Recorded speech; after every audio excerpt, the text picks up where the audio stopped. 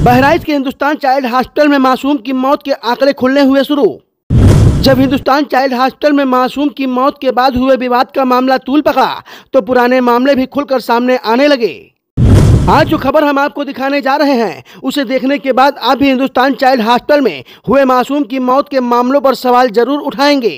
मैं धर्मपाल भट्टा बक, बक्सीपुरा के रहने वाला हूँ। मेरा नाम है छोटू पाठक। मेरे पास बिल्कुल पंद्रह दिन बिल्कुल पैसे की बिल्कुल कम हो गए कम से कम साढ़े तीन लाख के करीब मैं चला गया। बिल्कुल मेरे पास नहीं, मैं तो एक गरीब बंदा पेंट का काम करता हूँ फिर और कहीं से कर्जा पानी, घरवाली के जेवर वगैरह भी मैंने गिरवी रख दी। मैं पचास हज़ार रुपए गया सुनार के यहाँ से भी लेकर आया। हमारे चार लाख बारह हज़ार के करीब पूरी हमारी पेमेंट लग। गई इक्कीस दिन जो है एक्सपायर हो गया।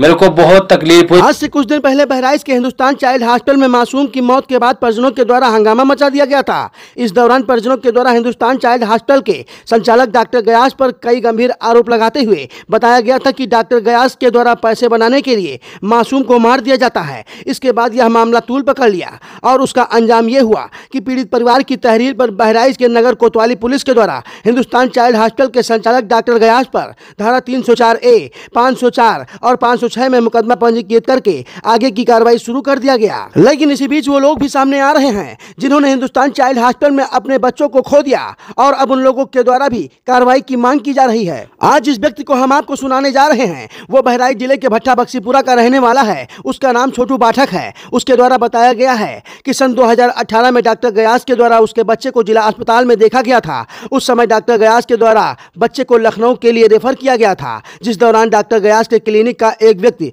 हमारे पास पहुँचा और उसने कहा कि लखनऊ मत ले जाओ। डॉक्टर गयास पहले लखनऊ में देखते थे, अब वह बहराइच में देखते हैं। उनका क्लिनिक भी यही है। उनके क्लिनिक पर ही एडमिट करा दो। तब मेरे द्वारा अपने बच्चे को डॉक्टर गयास के क्लिनिक पर एडमिट करा दिया गया। इस दौरान डॉक्टर गयास के द्वारा मुझसे चार लाख बारह हज़ार रुपए ले लिया गया और मेरा बच्चा भी मर गया। तो आइए आपको सुनाते हैं उस पीड़ित पिता छोटू पाठक की जुबानी, हिंदुस्तान चाइल्ड हॉस्पिटल के संचालक डॉक्टर गयास की कहानी।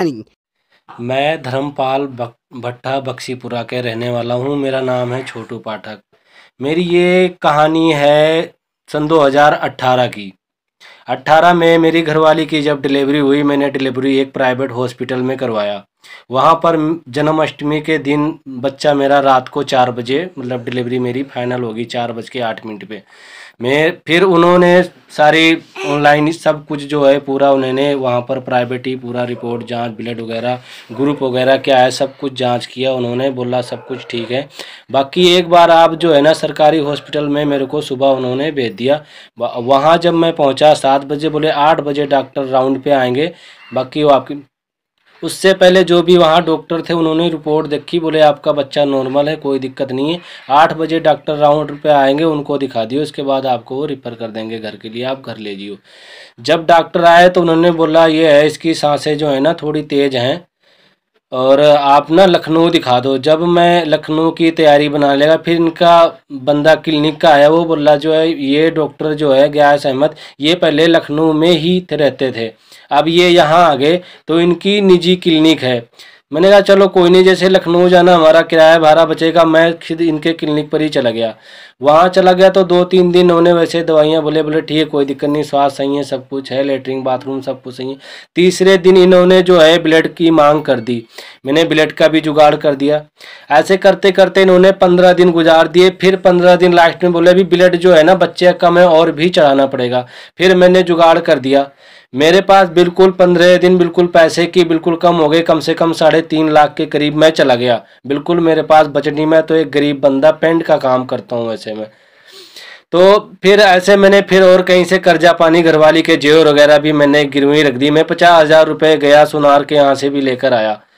फिर मैंने पाँच दिन और काटे, हमारे चार लाख, बारह हज़ार के करीब पूरी हमारी पेमेंट लग गई। इसके बाद फिर जब मैं फिर इक्कीस बाईस दिन हो गए फिर उन्होंने मेरा बच्चा इक्कीस दिन जो है एक्सपायर हो गया। मेरे को बहुत तकलीफ़ हुई। मैं सोचा कि केस करूँगा तो जो फिर मेरे को बंदे बोले कुछ नहीं हो सकता इतनी पेमेंट करने के बाद भी कुछ भी नहीं हुआ। मैं सोचा भी करने लोग बोले क्या फ़ायदा कुछ नहीं होता। तो ऐसे ऐसे जो है यहाँ पड़े हुए मैं एक बहराइच का व्यक्ति बंदा गरीब हूँ। हमारा बक्सीपुरा में घर है। बहराइच ज़िले से न्यूज़ के लिए रेहान कादरी की रिपोर्ट।